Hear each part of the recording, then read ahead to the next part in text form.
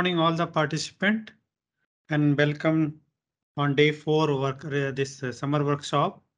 So today I'll I'll going to discuss a deep learning architecture for land cover classifications and also how we can implement for uh, land cover classification from the satellite data. But before going to the that coding part, let me I'll discuss some of the uh, important concept which is uh, necessary for everybody. So this is my outline. Uh, with introduction followed by the list of architecture, deep learning architecture for the land cover classification from high resolution satellite images, and then few data set for the land cover classification task. And lastly, that uh, uh, hands-on session on land cover classification from Sentinel-2 satellite images. So I hope this, this slides already you have seen uh, for what you call the deep learning architecture in a remote sensing application. So today as a focus is here. So like a classification task, LeNet 5 and AlexNet, VGG16, and then VGG19 event, ResNet, ResNet 50, ResNet 101, and DenseNet 101, Inception Res uh, ResNet V2, etc., etc. And uh, then, of course, this part is not a part of the discussion.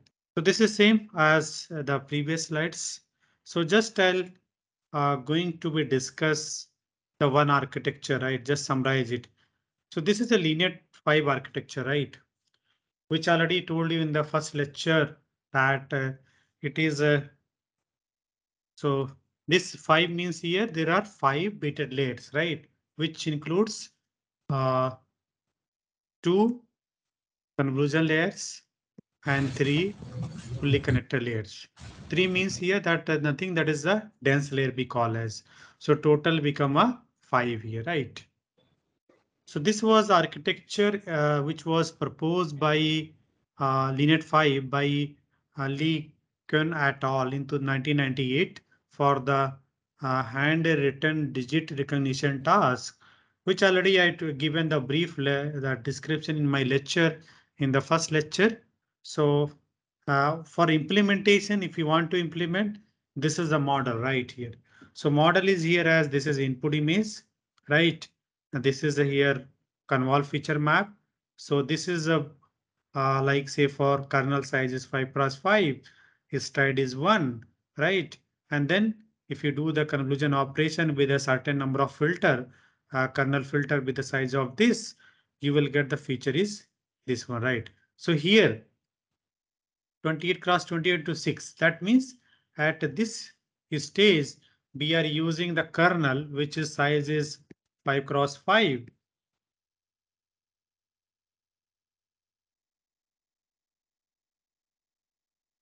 This is 5 cross 5 kernel or filter. So we at this first layer, uh, we are we are using here the six such a filter, right? Six such filter we are using to perform convolution operation on this input image, which is having size 32 cross 32 into 1. One is here that tells about the depth of the input image. But as here the input image, which is called uh, 0 to 9, the handwritten digit. So as a image, this is basically a gray grayscale image, right? So in grayscale image already, uh, you know, uh, that intensity value will be from 0 to 255, right? And the that will be displaying width into height. But as a channel, like say for the channel, this is say for depth or say for depth part, for grayscale image, it will not be displaying whenever you are reading image by any software, right? So before uh, giving to the grayscale image to the deep uh, neural network architecture or deep CNN, your first task is reshape the data. Reshape. So there is a np.reshape command is a Python. With the help of that, you can resave from the from the two dimensional here into make it the 3D tensor. So basically, in general concept, I would say I'll give if you are uh, using a 2D CNN architecture, then the input image should be in the 4D tensor, 4D. 4D in the sense that that will be first number of samples, how many are there? Second, the width, then height, and the fourth, that will be parameter called the depth of the input image. So here, this is for one image, right? 32 cross 32 into one. So width, height, and then that is the uh, depth of the channel of the input image, right? So grayscale will, will not be there. So by manually, I mean by doing the reshaping uh, task, you need to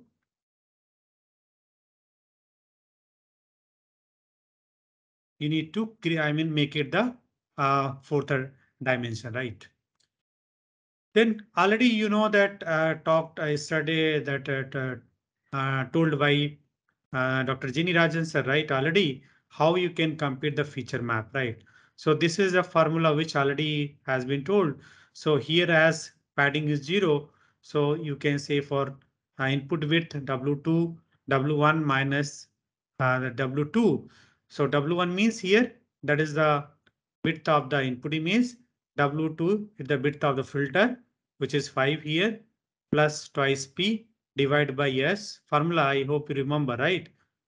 W1 minus W2 plus 2P divided by S plus 1. This is a formula to calculate the uh, that width of the convolve feature map, right? So here 32 minus 5 plus 0 because padding is 0 here and divide stride is 1 here mentioned already. So plus 1, so you'll get 28, right? Likewise, you can compute the that uh, height, height, height also you can compute that. Uh, that will become 28 right now. So this is the first layer. Likewise, once you do average pooling, average pooling, as you know, the the the the, the way we are computing, same way we can compute the feature map, right? So like here 14 into 14 into 6 right now. So here as input is 28 minus 2 because kernel we are using here uh, F means field the kernel size is 2 right 2 cross 2 and stride is 2 here right. So 28 minus 2 plus padding is 0 always uh, in the pooling layer any pooling layer padding always will be 0 right. Here padding may be used that to make the the convolve feature map same as the input feature map right. So 28 minus 2 plus 0 divided by 2 so you will get the 14, right? I hope it's clear to everybody. And the depth of the after doing the pooling operation will be remain same as the that previous depth, like you know, of convolve feature, because here we we are not using such number of filter, right? So here, whatever the depth there will be depth will be remain same like here. You see the six number, right? Then again using the convolution operations. So in convolution operations here uh, using the 16 such filter, right? At this stage, uh, second convolution layer, 16 such filter use uh, with the size of same 5 cross 5, stride is 1, right? And then you can come padding is here 0, so you can compute as here, right? So 14 as input, right? Minus uh, uh, kernel size, which is 5 plus 0 divided by 1. So plus 1, you get the 10, right? So then here uh, are the pooling operation again here. So pooling operation, you can say you can compute again here. Right after pooling, you will get the 5, 5 cross 5 into 16 right now. So that will be same size. So this is, I hope, clear, right? 16 filter use. That's, that's why the depth of the, the convolve feature map becomes 16 here, right? 16 channels, right? 16 channel. So whatever the feature map coming that have a 16, 1, 2, 3, 4 like this, like stacking 1, 2, 3 like this, 16 the slices you understand like this way. And then all the again will be used as input for the next layer pooling layer. And then you will get the this feature map. Uh, after that using the that uh, three dense layer, which include the uh, as a fully connected layers, which is nothing that simple ANN, the architecture, right? ANN layers like dense connected operation like uh, wx plus b, right? The function of this operation will happen at each layer here, right? And uh, then we we will last be using the softmax. Softmax is uh, used because we wanted to assign the number of 10 number of nodes because there are 10 digit 0 to 9 So we need to give here the 10 nodes, right? So then finally the softmax give give the uh, uh, this uh, probability for each classes. So that will give the probability P0 to P9, right? So like and then after predict the probability of R, that next task will be there using argmax, right? argmax, what it does, there are the 10 probability predicted by classes. Then see that out of 10, uh, each column, there will be 10 columns right now, column 10 columns. So each column represent the class digit, right? Class 0, 1 to 9, right? So in the in the column wise, right? I mean the predicted probability, see that which specific column eh, that probability is high. If the say, for example, that the third column, the probability is high. So third is what is the class? 0, 1, 2. So the predicted probability that belongs to the that will be uh, class, I mean two, digit two here, right? So like that you can you you can that will be doing for all the uh, samples. I'll demonstrate right now later on. Is that clear, guys? Participant. Yes, sir. Yes, sir. Here, any doubt? Anybody? No, sir, it is clear. Okay. Right. So this is like once we implemented, right? This summary will come, model summary right now. So model summary will give you the uh, like here, the feature map. Feature map in that is giving the depth, right? So input means depth is one, depth is six, depth is six, 16, 16, 120, right now, like that here, right? And here the size, like 32 cross 32, then 28, then 14. See that because we are not using any padding, right? Zero padding right now. So that's why the dimension, right? Width and height of the convolve feature map I keep on here reducing that right now. You can see that that that going to be five cross five. Then we are using here one cross one convolution layers. And then finally, we are using that here the 84 nodes and last will be 10 nodes as a soft max to give the uh, to predict the probability of the 10 classes 0 to 9 that right. Then uh, this is a AlexNet architecture which was introduced by Krizhevsky et al. in 2012. This was already talked by uh, told in the, my first class. So now I hope you can understand clearly, right? Just verify that right now. Each step you see. Input if this is color image, here depth is 3. Here the input image, like uh, width and height already given. So each layer you can just just verify that, right? Verify that each layer here, uh, the feature map is coming correctly or not. So convolve, the kernel size is 11 cross 11, stride is 4, right? 96 such kernel used to perform the input image on this. Well, one more thing I would suggest at the first layer, how many number of filters we are going to uh, decide that is basically there is no rules, but number of filters is decided based on the what is the input size image we have. Suppose if input size image is uh, is very small, say for example 32, 32, there is no point of using the such uh, I mean large number of filters kernel like 96 or say for 30, right? So depend on the input image, you can decide that the uh, that number of kernel. But normally the number of kernels gradually, I mean, it will be increasing layer by layer, right? If it is using here 96, so further layer you will see that the number of layer will be keep on increasing right now. So 96 kernel, guys, just take the pen and paper you have.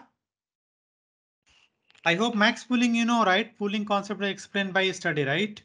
Yes, sir. I'm not explaining that's why, right? Once you done, uh, just raise your hand.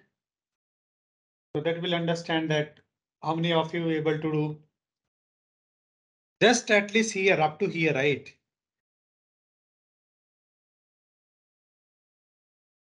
Other participant involve yourself. Don't become movie watcher.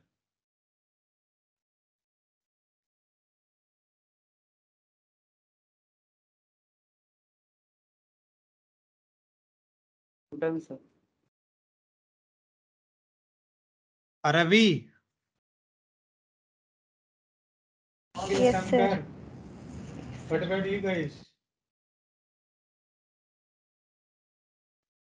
हमला हमला math M S C S department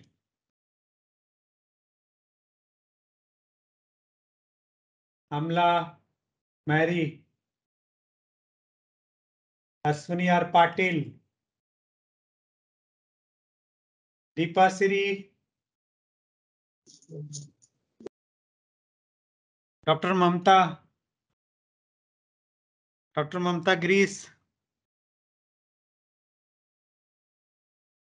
Are you there or simply logged in and uh, doing other work?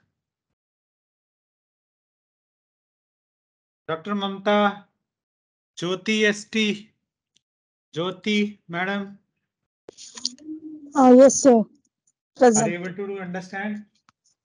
Yes, sir. Then why didn't put your raise hand? I told raise your hand, right? Meenu Anil, Satyaprakash. Those who are not responding and assume that they are not here. Sir, I may have a ask doubt. question? Hello, sir. Yeah, Uh, may I ask a doubt here? uh, yeah, tell me. Uh, sir, in the 13 cross 13 cross 384 uh, layer, those are the two layers out there. And there the padding is taken to be one. But in the calculation, it is taken as a two into one. So uh, shall we understand? I mean, uh, the padding is two or one it is. Where, where? Uh, so in the bottom layer, I mean, uh, the, the second row, Mm-hmm. the first two layers are 13 cross 13 cross 384. Ah, here And- use a conclusion. Yes. Two into one, right? Yes, sir, but the padding is given as a one. So, I mean, What is the just trying to formula? correct. This is formula, na? So it is, yes, sir, two Two plus, two P, into right? Two P. into one. Okay, okay. Thank you, Formula is this, madam, right? W one, Yes, W two yes. plus two P, right? Two P, two into P, I mean, two into P, right now? Right, right, Two P means twice into P, multiply number of padding. right. Hmm. Okay, thank you, sir. Thank you. Sir, may I ask a doubt? Pardon? I have a doubt, sir. Yeah, So in the last, after the last max pool, we are getting six by six and two fifty-six, which is coming to nine two one six. mm-hmm. How it is coming, right? That is correct, sir. But how it becomes four zero nine six when it goes to the fully connected layer? That is my doubt. Yeah, yeah, I'll, I'll let you, I'll explain. That's why I, I just not I'm waiting right now. That's why I Okay. told you complete up to here, right? Okay, sir, okay. Uh, because there is a concept here, right? That's why I want to explain. Okay, sir, okay. So people will log in and they'll they'll get away, right? This is a big problem, right? People are not honest about their work. Okay. Their problem. Fine. So the let me explain here, right? So up to here. Up to here, right? Whatever you got. So this is a feature map. Okay. After th- this is a last last pooling operation, right? we got it here. Uh, the size is 6 cross 6 into 296. So next step is basically that. Uh, I hope whether you understand or not yesterday. So CNN, there are two parts right now. One is called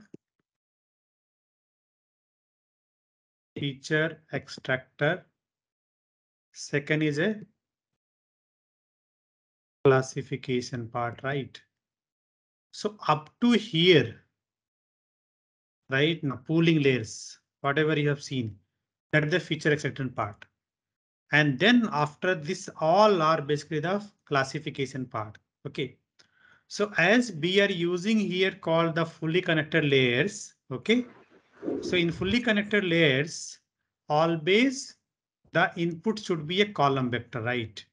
The input that's that uh, this is dense layer or say a fully connected layers always accept the data in the form of a column vectors, right? So how we'll do it? So last output of max pooling which is a two cross two matrix, which is having basically here six into six into 256 right now. So what we'll do? This this data, which is a two dimensional matrix, is it should be converted into a column vector. Right. So which coming basically here uh, 9 to 9 to 1 6. How it is coming? This much basically having the columns, uh, having the rows. Right. So this much rows and into single column, right? So how it will become this operation we call as a flattening operation. Flattening layer or operations.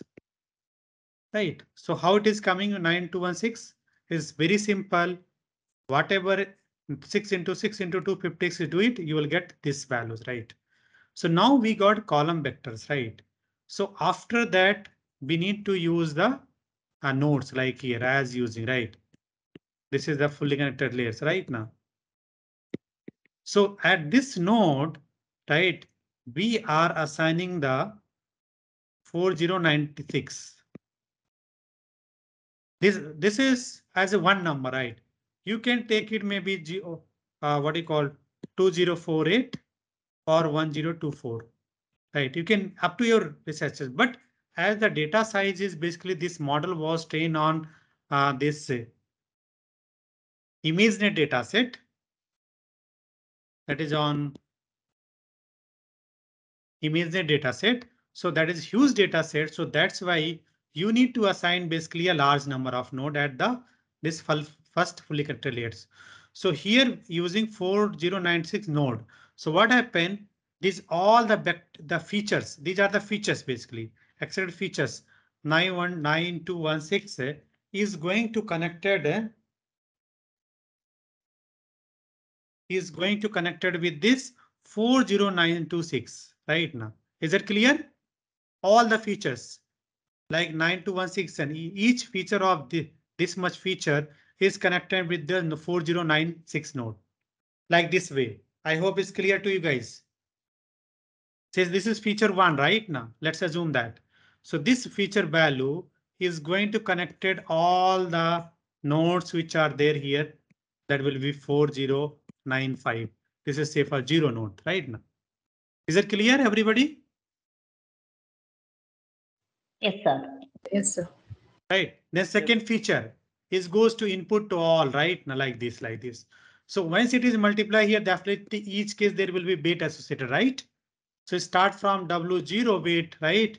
it goes to W9 uh, 4095 width. Right. So weight will be associated that right. Each layers like this also will be it like this. I hope things clear to you guys, right? And then next layer also will same nodes using right.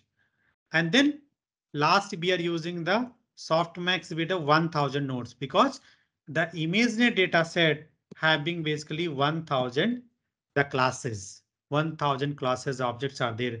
I mean, we can uh, we can find the we can uh, that predict the 1000 classes of the objects, which includes in the that image data set which contain 14 million images right now.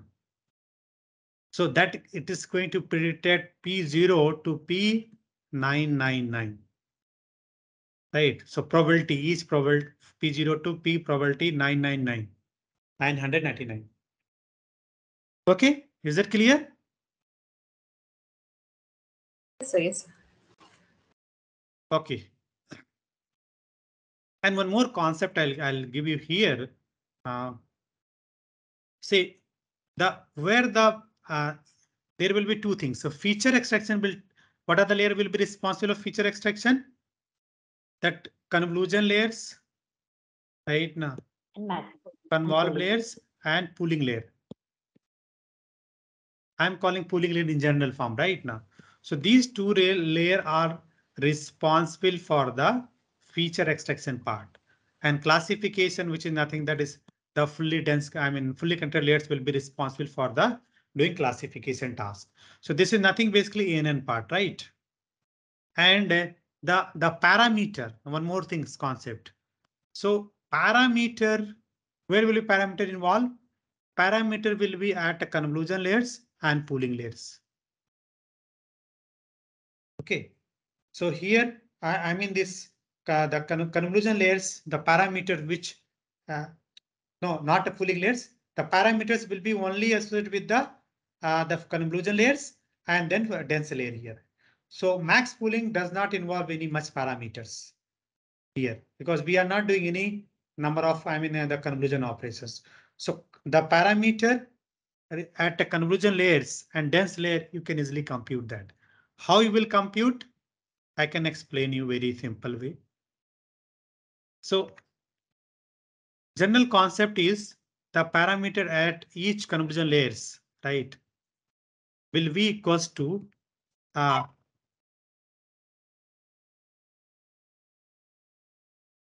that is general formula I'll say f into f into so F cross f right filter size into that is uh, number of filter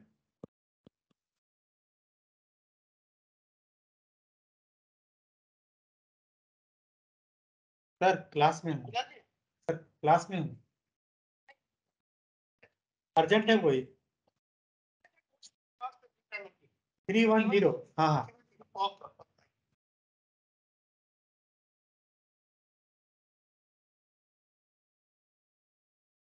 So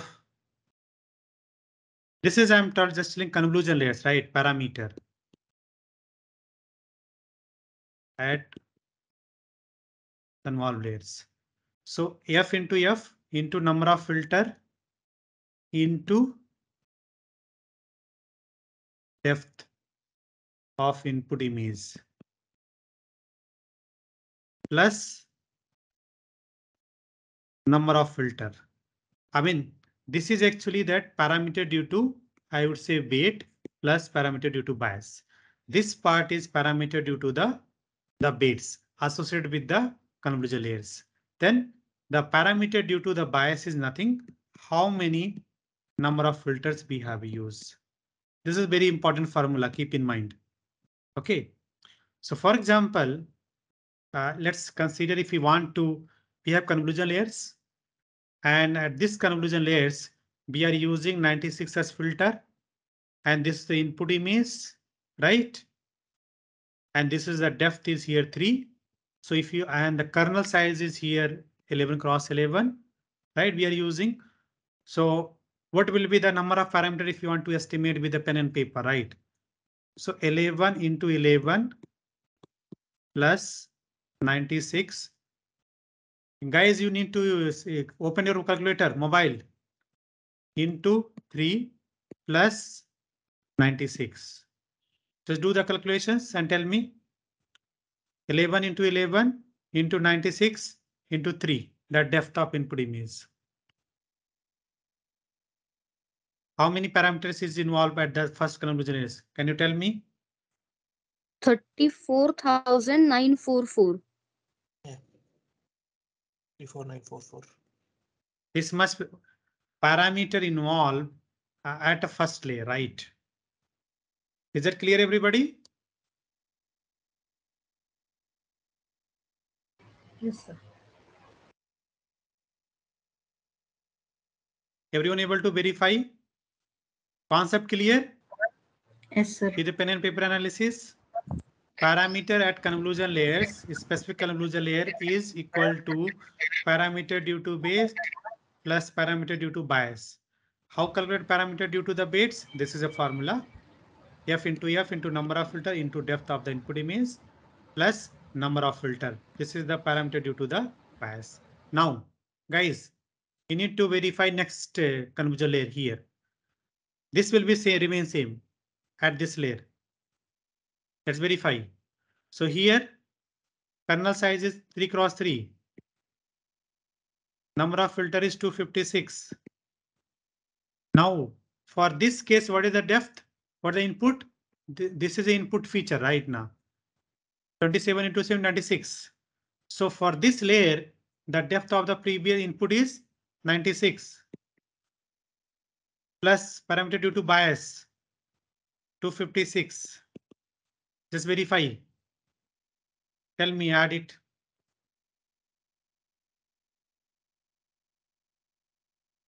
Sir, is the kernel size three by three or five by five, sir? Ah, oh, sorry. Yes, yes, five by five.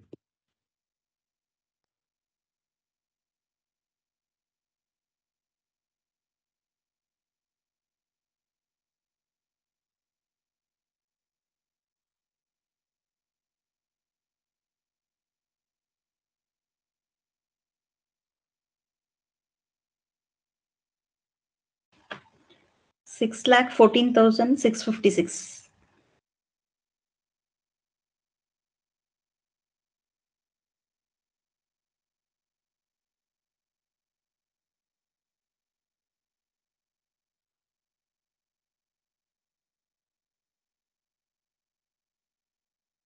Is it, is that clear, everybody? Sir, I had one doubt. Yes, sir. Yeah, Sir, when you flatten a 2D image, uh, then uh, will you lose the spatial ordering in case of a satellite image? When you flatten a 2D image, will the spatial order and relationship of the image be destroyed?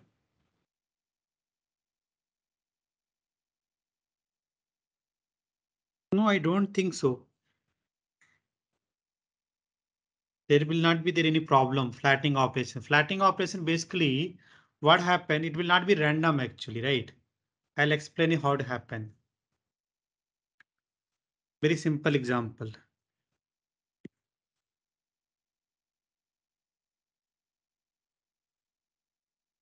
This is your four cross four matrix, right? Yes, sir. Okay, so this matrix.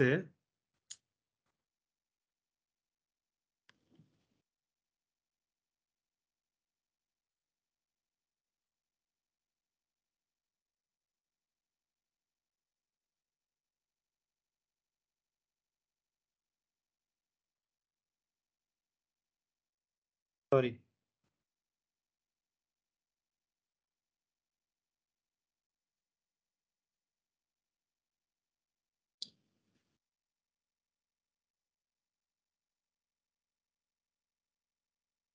Okay. So what happened? This is channel one, right? Now first channel. So this channel going to be arranged like this. This is first row. You have to put here first row. The value will be coming here. Okay. Second row you will be here. Right. Third Yes, row. sir. Like so order of the channel will be remain sequencing only right now. This fourth row, right? Then the second the second channel is there now. Same way we'll be arranging that. So if you wanted to convert back to the matrix, the same way you can make it converted to the matrix. Same order will be remain same. Oh, Order will not be changed. Is Yes, it clear got to you? Yes, sir. Thank you, sir.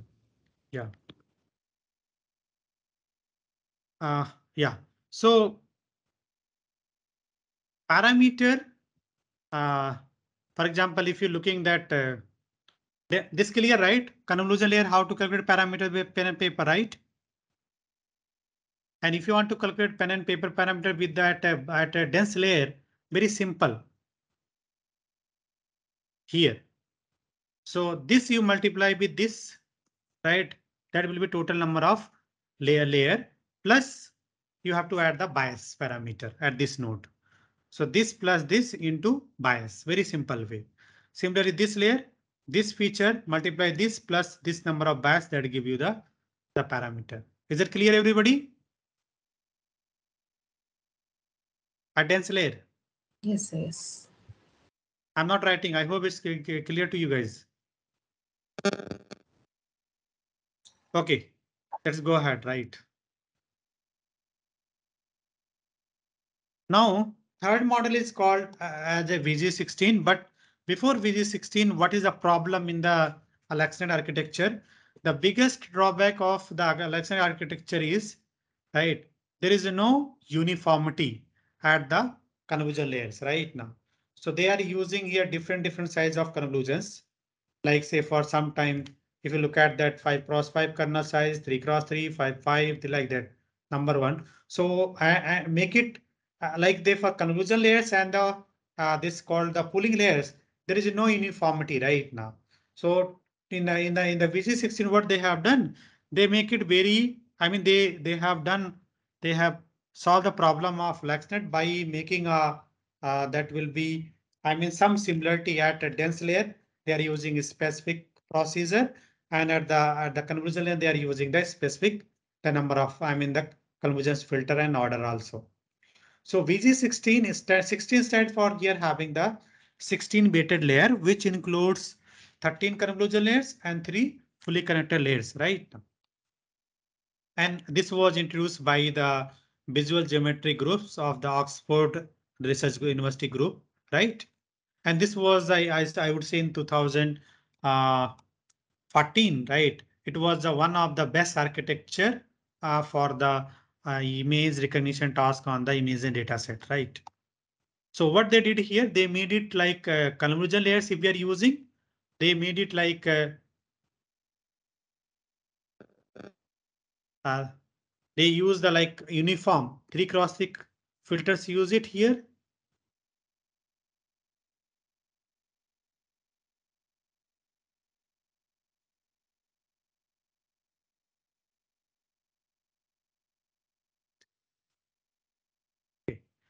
So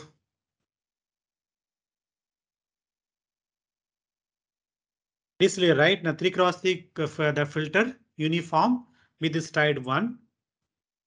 It is tide one always and using the same padding right now. So that is one thing.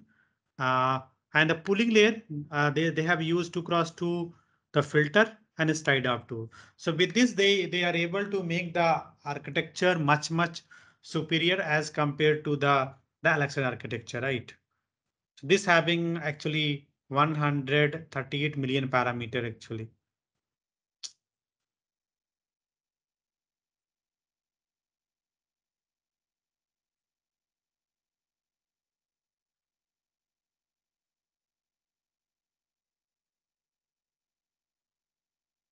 So this is architecture. You can see that there are uh, total are the 16, 13 convolution layers. So this input image, right? There are two convolution layers. Then red is here as a max pooling and then convolution layers. Then max pooling, convolution layers, max pooling, convolution layers. Set of like three convolutions, max pooling, three convolutions, max pooling, three convolutions. Then here max pooling and then they are using the work cross one convolution layers followed by the two, three fully uh, dense layer 4096 and then here again using one cross one convolution filter followed by the the soft max layer, right? So here again you can understand two part. We have here the feature extractor part and the classification part. So if you go for more deeper, right, you can see that we have here the input image.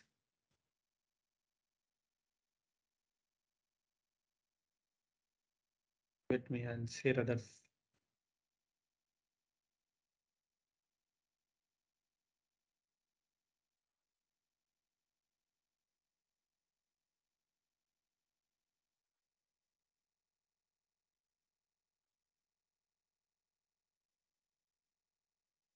Is it clear, right? Guys.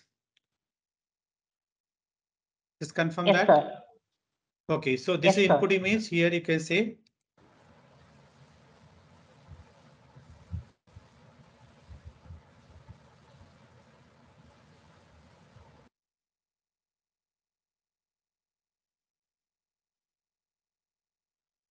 So input image size is 224 cross 224 into 3, right? So we are using as a two convolution layers. You can see that here. And uh, here you can say using the padding here. So padding with they are getting the same size. Input dimension 224 into 2 into 3. So here the width and height is remain same. So we are using six uh, uh, kernel filter with the three cross three the, the that width. I mean the kernel size. So we are getting the feature map this. Likewise, here this layer two convolutions, then max pooling. Finally, you get the max pooling sizes here this right. Then next layer you can see two set of convolutions. This will be given as input and then set of convolution, then max pooling. The output of this max pooling given as input to next convolution layers. So you'll get the size here 56 cross 56 into 256. because this layer has been used to 56 uh, filter and then uh, three convolution is used here. Set off here you can see um, can getting the same number of uh, that uh, here this layer is using the same number of filters right? 256 into 256 right?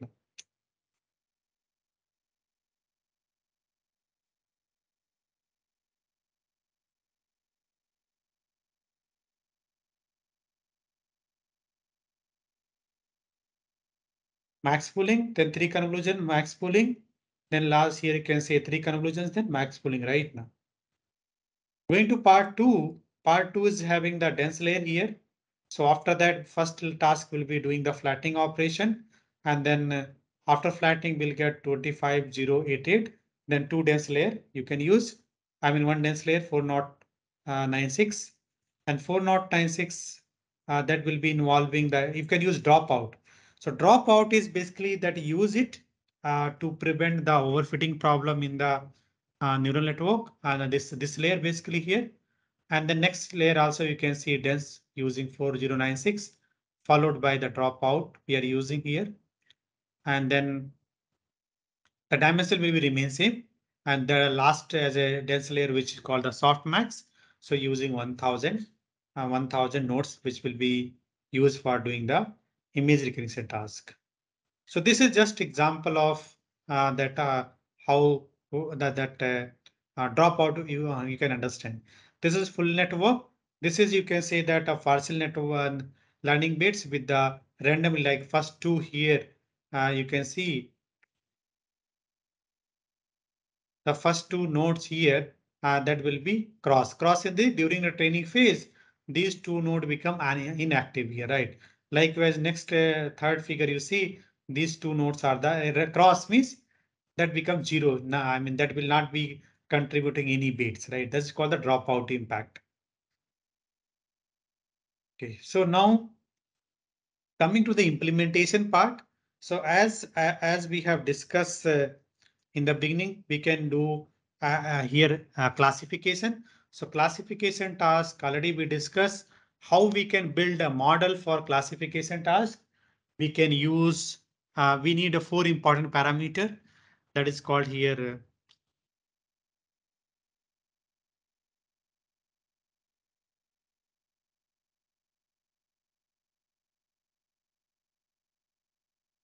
Uh, activation function, loss function, optimization algorithm, and output layer configuration, right?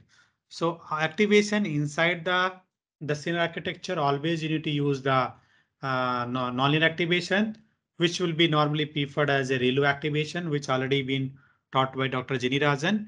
Loss functions using the binary cross entropy for any uh, any binary classification task.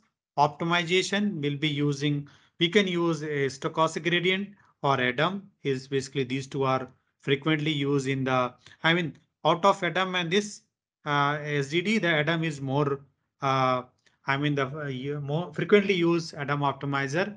Why it is Adam optimizer, I'll discuss later on. And then our output layer configuration that will be using the one node with the sigmoid activation functions or two node with the uh, softmax activation functions, right? So that uh, you can choose that. So these are the few applications, right?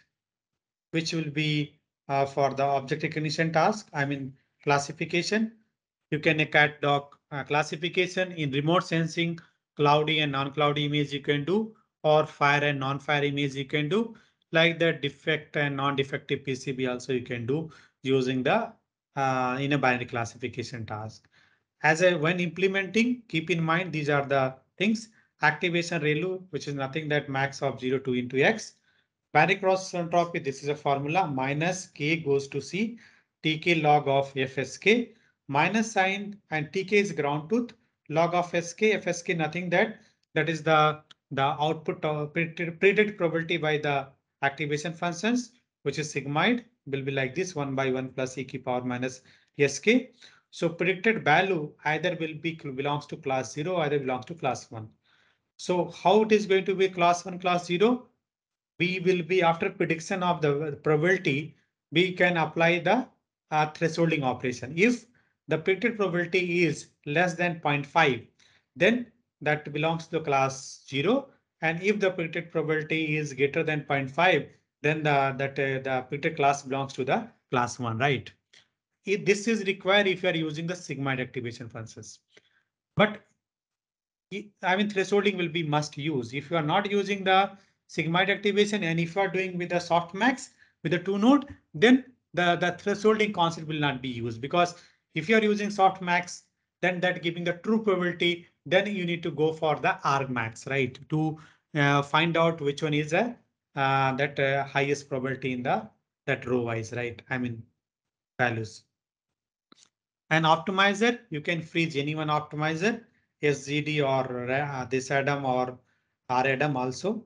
And last layer, as I told you, we'll be using the sigmoid activation because our task is a binary classification task. There are other, this is a simple way you can also use depending on the data set, weighted cross entropy loss, balance cross entropy you can use, you can use pass loss or F1 score loss functions, you can use Jaccard index loss, right? This is a simple coding if you want to do cross entropy, how it will be looks like right now. So you can use this law. This is simple. If you want to write the cross entropy from your scratch, you can def define def cross entropy y hat into y and then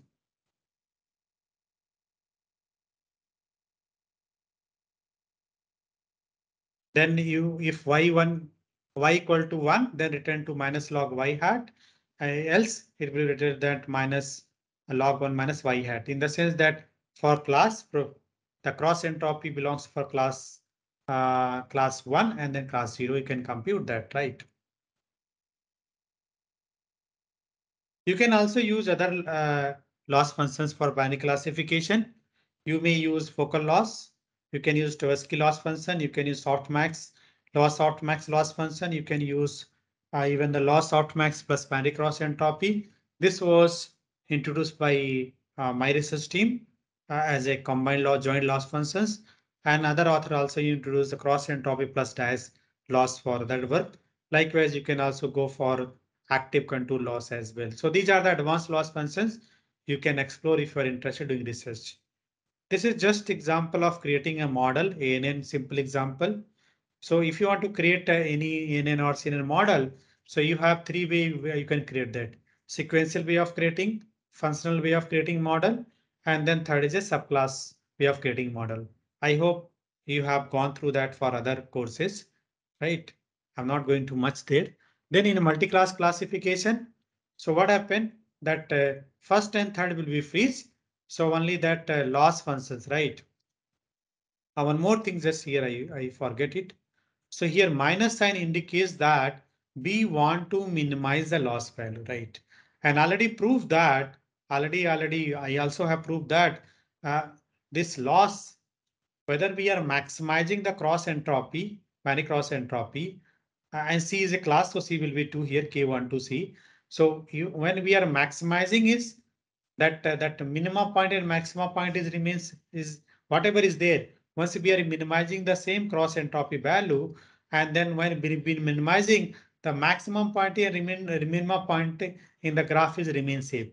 So always uh, in it is basically used uh, to minimize rather than the maximize a binary cross entropy, right? Because the maximum and minimum point is is same, and it is derived from the binomial distribution, right? So if you wanted to understand how it is derived and all the things, it is a one hour almost lectures require on this to make you understand mathematical way.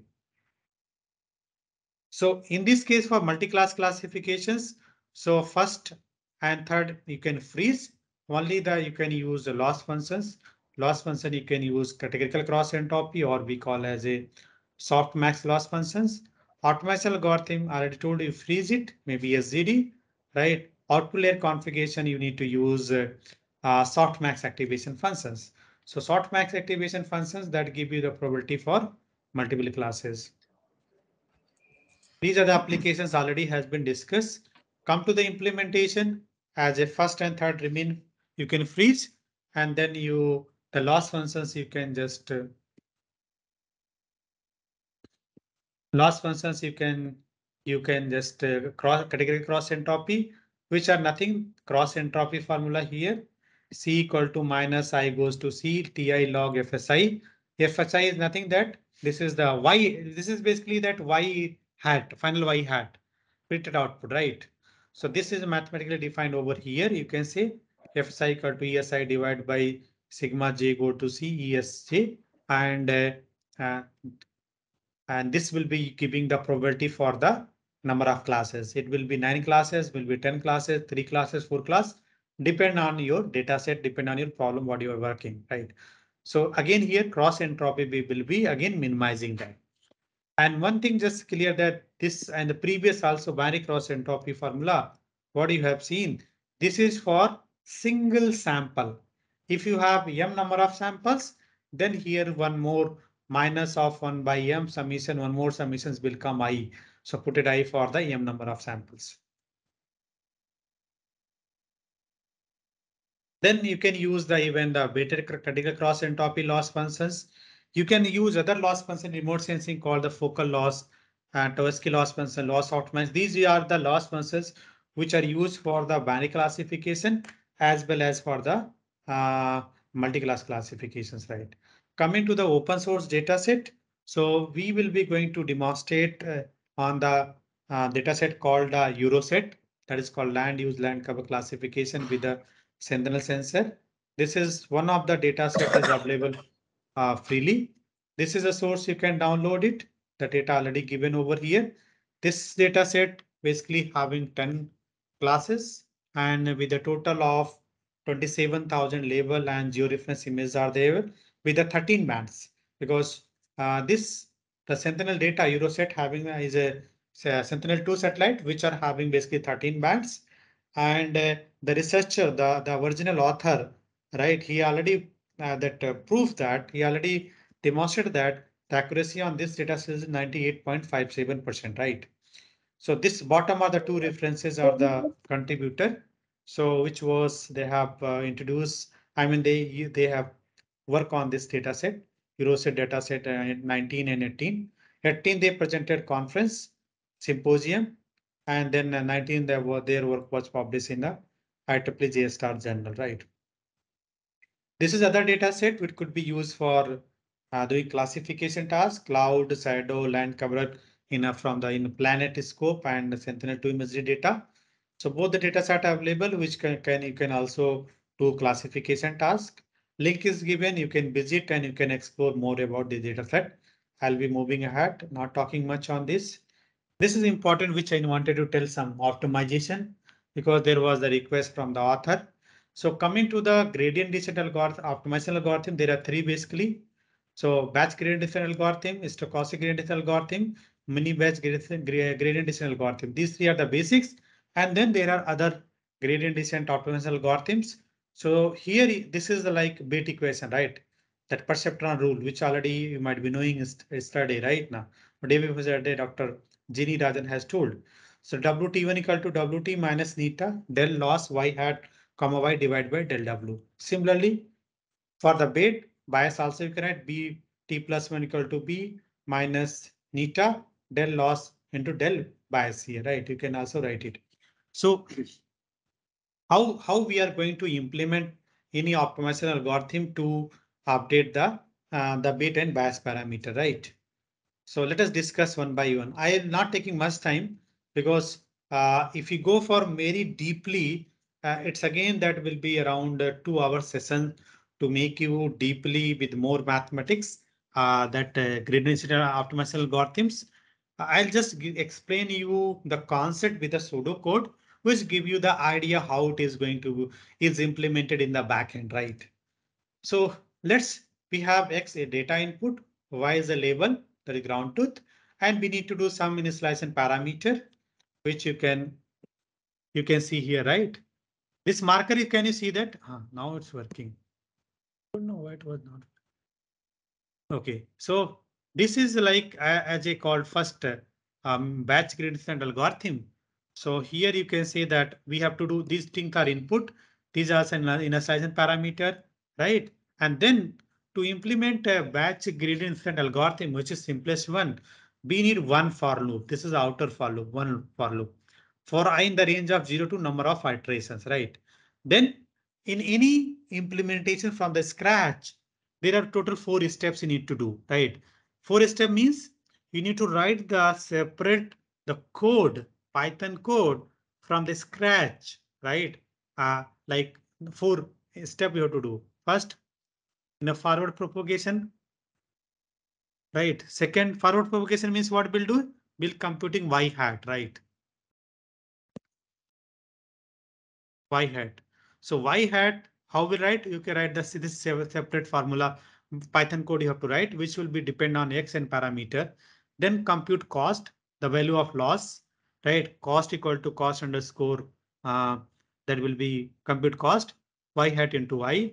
For that, you can compute here the binary cross entropy for binary classification task, right? Or category cross this uh,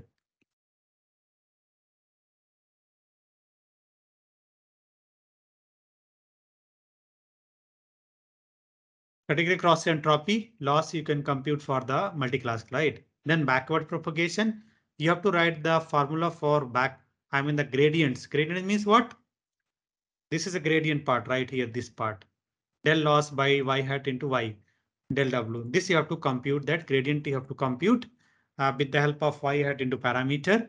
And the last uh, uh, uh that parameter is update parameter. So update parameter here is parameters equal to update parameter where you can write the code for updating the uh, bit and bias, right? And they depend on the parameter and the gradient here, right?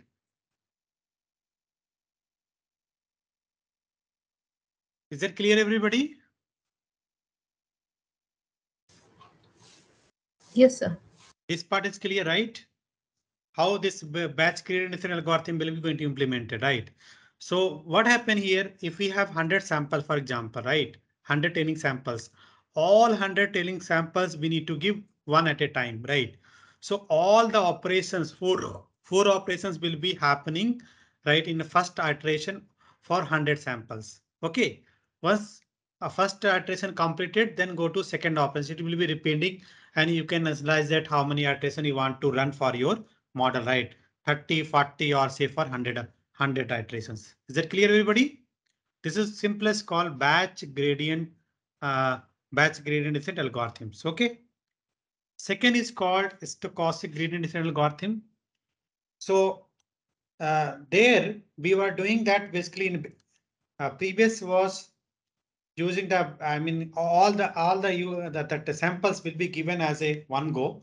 That means there we are using the called vectorized complement uh, implementation for implementing uh, once come to the uh, this uh, called stochastic gradient descent algorithms. Uh, first three, I mean, as the same x input data, y level parameter equal to slash parameter. Then we need two for loop, two for loop to implement that, right? This is first for loop i that here for i in the range this this outer loop number of iteration. Second is j in the range of 0 to m, where m is the number of samples in the training samples input, right? So what we'll do here, uh, here instead of giving all the samples, right, we will be passing through one sample at a time, right? So starting from the zero samples and then all four operations will happen. Then the second samples, all the four samples will have all the four operations will happen. Then third samples like that hundredth sample that will be doing all the operations, right? So idea is here that the here computations will be, I mean, is very easy because all the things will happen only one samples, right? So, but uh, the major problem is that computation become easy, but that that uh, time is steps because there is a frequently updates, right? You will find there is a code that will be noisy steps looks like that once you plot the curve right now. So this is what the stochastic gradient descent. Very simple way. If you want to implement, you need to do for loop and all the operations will happen here uh, like forward path, compute cost, backward propagation, update parameters, all the things will happen for individual each individual samples. So you can understand the uh, the the, the jth loop, second loop inside the loop, or this is a is is operating right if 100 samples 100 times. In one epoch, that uh, second loop will iterate into 100 times. Then once completed, then the second iteration will start. Then again, the inside loop will be operating 100 times doing all the computations operations right now. Is it clear? Participant, is it clear? Yes, sir. Yes, sir. Now, uh, so the uh, because it's basically frequent update is happening, all the parameters become the noise. I mean, the all the time taken become very noisy curve will come that right now. So and also takes last uh, time more here, right? But computation is fast here, right? Because it don't take much time for computing the the individual other steps here. What is happening? So next is the called mini batch stochastic gradient descent algorithm. So this algorithm to implement require the uh, that will be uh, two for loop, but instead of giving the single samples, the single training samples, here we can give the batch of samples. Suppose uh, and here let me explain you. So outer loop is same, for loop that will remain same. The second loop, which is j in the range of 0 to m into batch size. What is m? m is a number of samples. Batch size is basically what we are initializing. So here m is a number of samples. So batch size B can select as a user or the coder can decide, right? Depend on the their computational power, right? Hardware, all the things. So batch size, suppose we have 100 training samples. 100 training sample, let's we want to pass 10 sample at a time, right? So we can make the 10 into 10 100, right? So uh, that will be 10 sample at a time, right? So the, the all the four operations here will be happening for the 10 10 samples. So what happened that the now the, the, the jth loop which will be iterating into 10 times for the same examples rather than uh, previous was it is iterating into 100 times, right? So this is advantage, right? Always in, in the deep learning also, we will be giving that batch size. So batch size is very, very important, right? Because otherwise it takes more time to, to get the final output. Training time will also more take more time. So batch size is again, practically whenever you go for the any deep learning work, batch size always will be chosen as to the power of n, n value from 1 to uh, 1 to some values, right now, large value. So depend on the data set, depend on all the computation power, batch size 2. If you take batch size 1, it's, it's, it's become very stochastic gradient algorithm right now. And if it become uh, 2, then it is a mini batch, 2, 2, 4, then 8, uh, 16, 32, 64, like that you can select that, right? So that will be happen here. Is that clear this part? All three basics are clear? Yes, sir. Okay. There are other uh, optimization algorithms, right, which we call in deep learning, which we use, uh, that is adaptive gradient uh, descent algorithms and RMS prop, ADA delta, ADAM, right? So what was the previous, all three was happening, right? The, the, the parameter here, this, this is a learning rate neta. So all the previous three algorithm, their focus was the a, a constant learning rate. And sometime if you constant learning rate you are using, right, that that the parameter, right, that the learning rate that that will not be a uh, sometime will not be good actually right now. Your learning will not be good and uh, the performance may not be, be will be better also. So idea is that that there are different author instead of using that fixed learning rate. So for each iterations or each step, if we are able to change the learning rate, then the performance of the algorithms will be better then. So that is only key idea of using the some advanced uh, gradation optimization algorithm, right? So whether RMS prop and then ADA grade or ADA delta ADAM, again, this takes a lot of time to explain you. Just I'll give you very brief. So there are like different algorithm other than three. Momentum, which was introduced 99 1999. Then the Nesterov accelerated gradient descent, which was uh, 1983. Then this was ADA grade. This was used in deep learning also. 21. Uh, Duchi et al. in 2011 introduced. Then ADA delta introduced in 12. RMS prop that will be Tieleman and Hinton in 2012. Adam, which is uh, introduced in 2015 by uh, Kingma and Ba, uh, which we call adaptive moment estimation right now.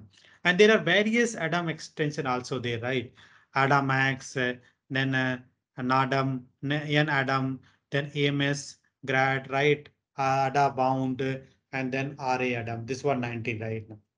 So normally researchers uses are you can use actually Adam you can use you can also use RMS prop is also quite good right now as compared to that ADA grades and you can use Adam or you can also use RA Adam also which was the introduced in 2019 right again takes a lot of time to make you understand but I'll give you the just for concept.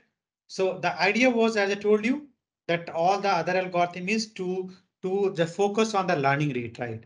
So learning rate should not be a large. So learning rate should be all always the deep learning we will be keeping as a learning rate neta is as small as possible.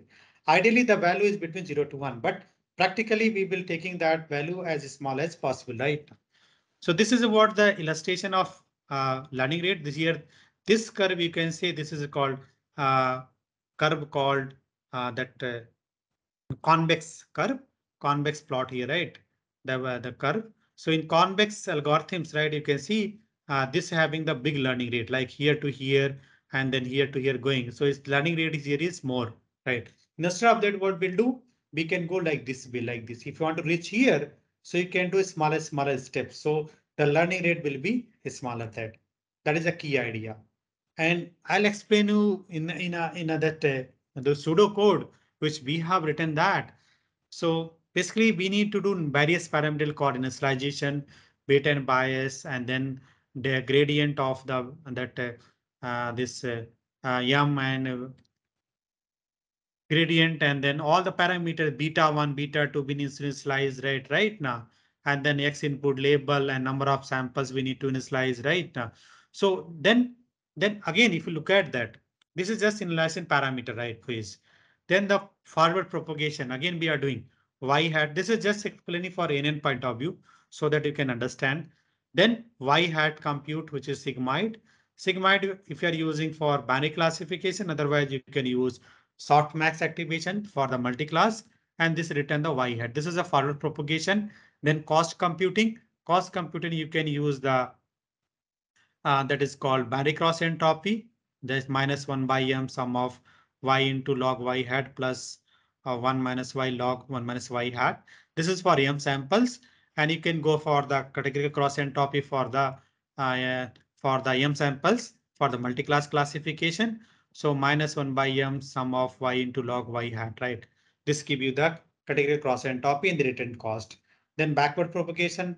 So derivative of a is basically the activations, right? y hat minus uh, y hat. This is basically final we are getting the uh, derivative final output of the activation functions dz dA into derivative of sigmoid, which is nothing that dA into of this value into y hat into 1 minus y hat, right now. And then uh, you can use also for derivative of sigma, sigma softmax if you're using multi-class, then then uh, gradient of dw, d, uh, ddb computed, and then returning the dw. And this is nothing that the gradient with respect to the bit and the bias need to compute it. And then we need to do for weight updation. So weight updation before that we need to calculate the moving average, which is called here MW, right? Will be calculated as follows here. And then for a moving average for with respect to the weight, moving average with respect to the uh, the bias, and then the that uh, what do you call this variance, right? V uh, with respect to weight and bias, and then we have to do bias corrections bias correction, this is a formula over here. Need to compute bias corrections for the with respect to weight and bias, and then that variance also both we need to do that. And after that, doing the update parameter, right? W equal to W minus neta M dW corrected into square root of V dW corrected plus AEP epsilon. And then uh, similarly for the bias case, this will return the weight and bias. And this also that moving uh, that average that gradient, right? V gradient, M gradient, all the things will be returning that. And finally, uh, this will be that overall. So this is a code which is similar to the previous right now. So here also we'll be doing the batch size, right? Two for loop needed, right? Forward propagation, com computing cost, back propagation and update parameter. This is the step is finally the end of the process. This is the here exactly same. So we need to do a lot of things. The idea is we wanted to change the learning rate uh, so that the, the algorithm get converged. Only one task, the, the algorithm we wanted to converge uh, so that the performance of the, the algorithm result should be stable. Once the algorithm is stable, deep learning, when the algorithm is converges after certain epoch, then you can see if you run multiple times, your algorithm should give the same result and converging that right after say for 30, 40 epochs. If it is converging, then your model is good. Otherwise, what happens? You will every time you test, you will getting the different results. Why it is happening? Because your model is not good. Your model is not converging, right? Converging means graph. If you see that will be after some epoch that should get stable your the training loss and accuracy values, right? Is it clear? Everybody? I hope it may not give you crystal clear, I, I mean, understanding because uh, and one more thing, so Adam optimizer is a combination of basically that the momentum and the RMS prop, right? So RMS prop, if it go and this all the talking, then only will end up with this. Already time is going ahead. So what are the advantages? Advantage very straightforward can be implemented, computationally efficient. It's take little memory requirement as compared to the other and invariance to diagonal scale of the gradient and well suited to the problem uh, that are uh, large in terms of the data and parameters. Appropriate also problem with the very noisy or sparse gradient cases. And then hyperparameters have intuitive interpretations, simple and that require very little tuning uh, compared to the other uh, other gradation algorithms. So this part is as a data augmentation. So data augmentation again will be very, very important. So for make it the generalizations and getting the better result. So in, in, in the uh, different framework like deep learning, uh, framework, and then uh, the TensorFlow framework, they call the data generator. In Keras, this is called image data generator. Image generator is very powerful tool, which which will help us doing the data augmentation while training time itself. Also, we can do data augmentation even the separately whenever we have less samples to increase the number of samples, right? More detail, you can just visit here. You will understand how it works. Uh, that will be there in the TensorFlow. TensorFlow, the, that data augmentation is is is is much much better than this. But of course, that will be have some pros and cons. That is much faster than the uh, that will be image data generator. So in the TensorFlow deep learning library, we have two way of doing the data augmentation. Either we can do sequential class uh, using the and pre-processing module, which is the first part exactly same as the same as for the uh, that Keras image generator, which you can see here. And then or you can use the tf.image module for the doing data augmentation. This gives the full control, but this is more tedious to understand and then work uh, for, compared to the image uh, data generator, right? So as I told you, TF DAP data is is a is a four time around the more, more than four times faster than the image data generator for loading and processing the data. So I don't know. This data set I have already talked. So this data set is having the 10 classes. So what are 10 classes? that is called industrial, residential, annual crop, permanent crop, and uh, we have the river, sea and lake, and then uh, herbaceous vegetation, highway, pasture, forest. These are the 10 classes of the images which are there in the data set. And this data set, as I told you, introduced by the these here, the researchers right now. And if you want to go for, so there are five way of various way of implementing, let's say VGG16 model, creating model using the deep learning, importing TensorFlow API without pre-trained bits and fine tune the top layer, importing from the TensorFlow API without pre-trained bits and the fine tune top layers, importing from the TensorFlow API with uh, pre-trained bits, just transfer learning approach, or importing from the transfer uh, TensorFlow API with the pre-trained bits, then fine tune the top layer that is called again transfer learning approach, right? So this is the 16 model, VGG16. I'll give you concept, right? So this is our input image right now. So from convolution layer 1 to convolution layer 5, which start from 64, 128 to 56, 512 and 512. These layers we call as a base layer, right? And then we have here called the top fully connected layer. So we call as a top layers. So base layer, if you are using going for transfer learning, so base layer we can we can retain as such.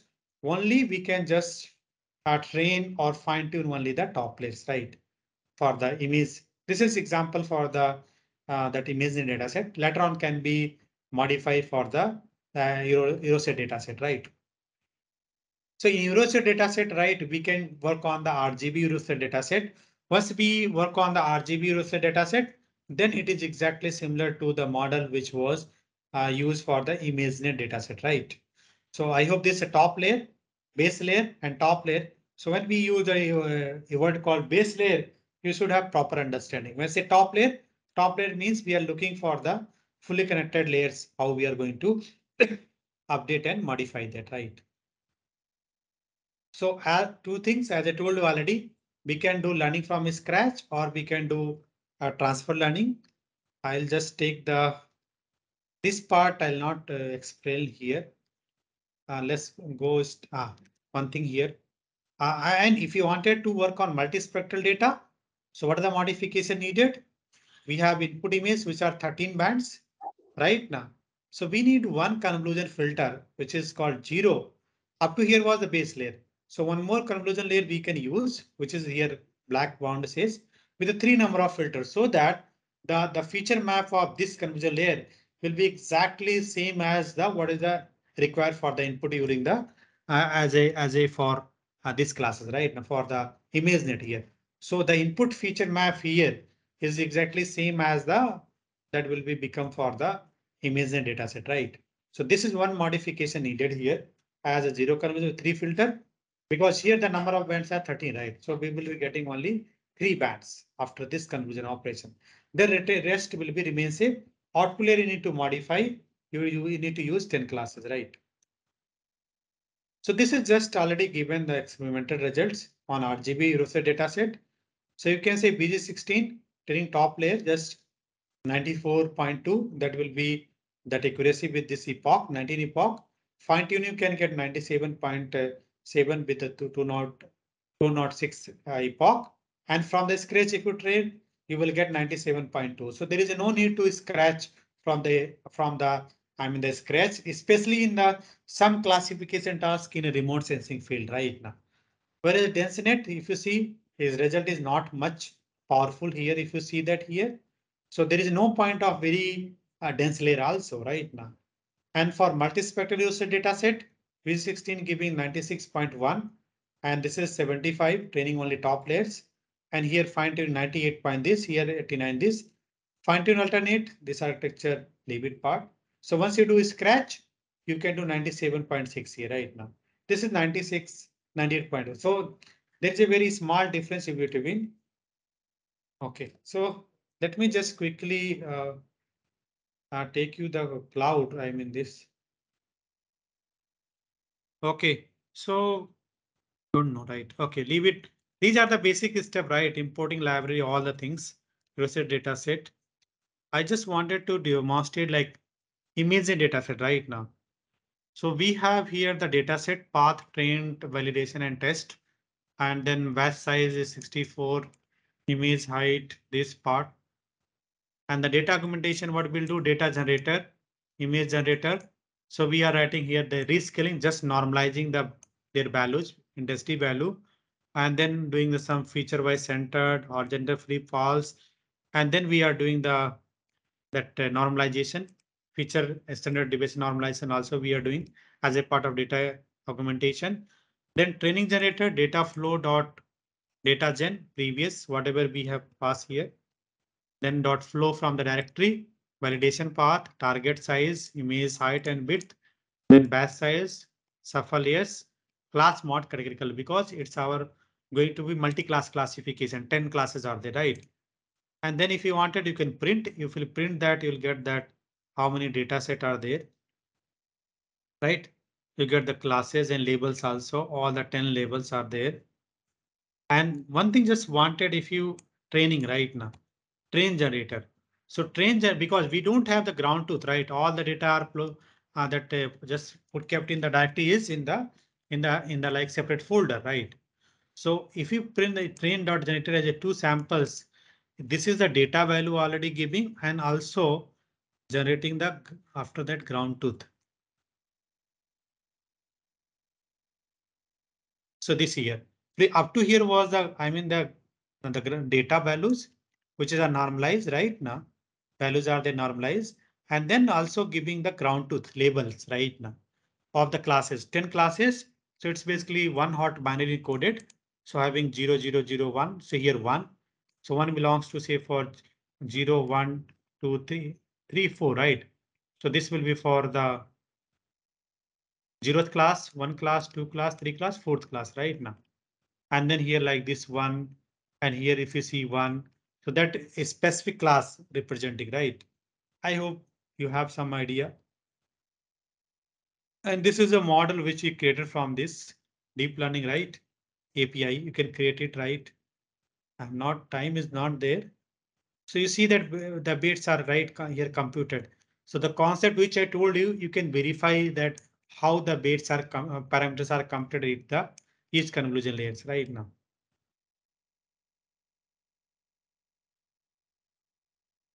This will having like fit the generator training part will happen.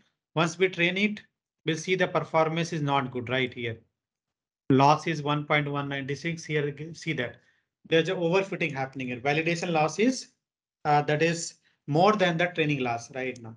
So there is a overfitting happening here, right? If you do from the scratch, and sometimes if we if you do import from the API and with the pre-image pre-net weights, so here we'll be importing that weights equal to image pre-net, top layer false and this part. So we'll see that here, right? See that the the loss is uh, training accuracy is 0.86 and the validation accuracy is 0.83. So there is no overfitting happening because you can go for the, I mean, just we are also fine tuning the top layers right now. So API with a, I mean, transfer learning approach for the some application is very good. Need not to train from the scratch. You can just fine tune the top layers only, right? So this is a curve like you can plot the training loss, validation loss. Yeah.